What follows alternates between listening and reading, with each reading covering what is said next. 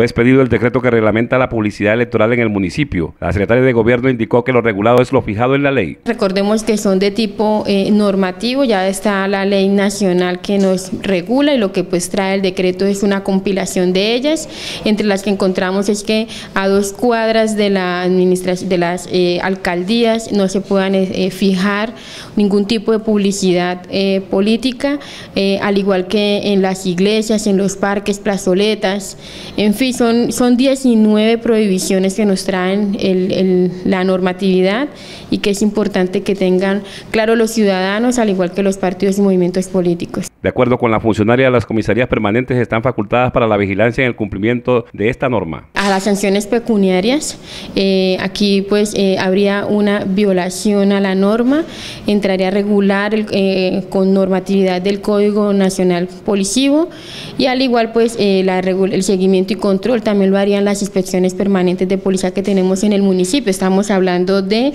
1.5 salarios mínimos mensuales legales vigentes en que se pueden, pueden incurrir las personas que incumplan la norma. Estas prohibiciones se dan en desarrollo de la campaña electoral con miras a la renovación del Congreso de la República el próximo 11 de marzo.